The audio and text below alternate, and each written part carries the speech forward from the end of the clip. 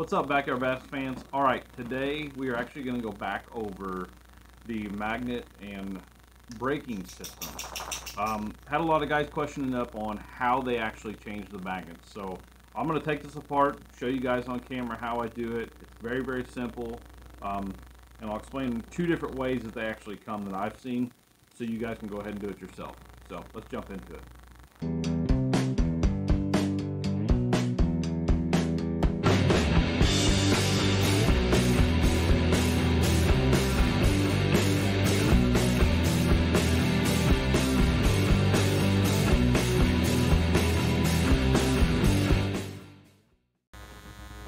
Alright guys, so you can see here, I've got my reel, I've got a pick, a Phillips screwdriver, a small one, and then a flathead.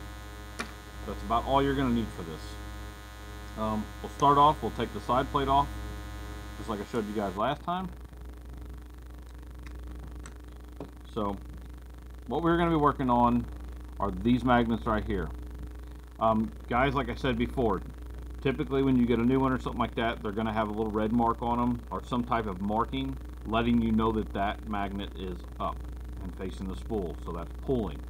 Um, if not um, you really need to kind of dig into it a little bit. Like I said they should be marked. If you have an older reel that's not um, you can actually go through and kind of test and see which ones are on and which ones are off. You'll feel the difference between some of them. Real, real, real strong and then the other ones are just kind of halfway there so that's one way of figuring that out. Um, but we'll dig into it here a little bit. I'll show you guys how to do this. And please excuse my giant fat fingers. I know it's a little harder to see with those. So first thing you want to do, you're going to take these two screws out. And guys, don't worry about it. The magnets will hold them in just about everywhere there. So get that one out. And this one.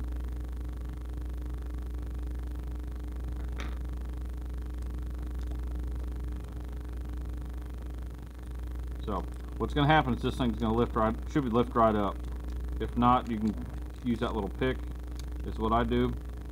But so that's the magnets, guys.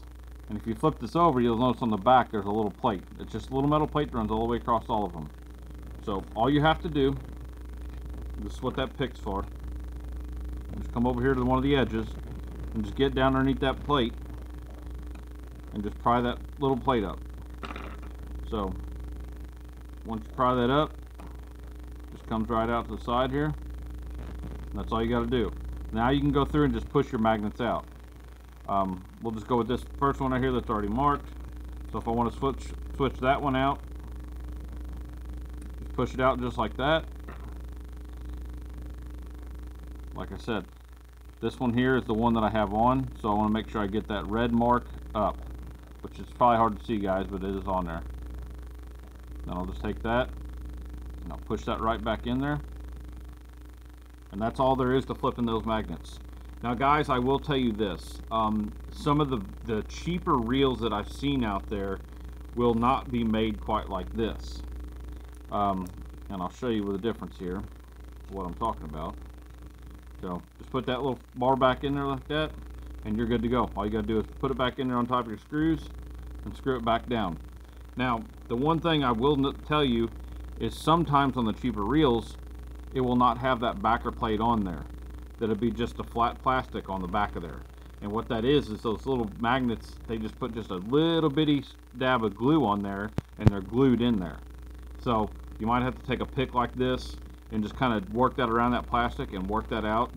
Make sure you flip it over, just get you a little bitty dab of just any kind of little super glue or nail glue, anything like that will work. It don't have to be a bunch, just a little bit, and then put it back down in that slot. That's all there is to doing that.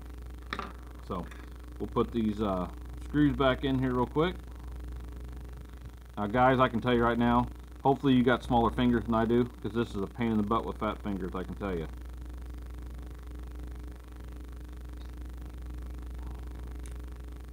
As you can see there.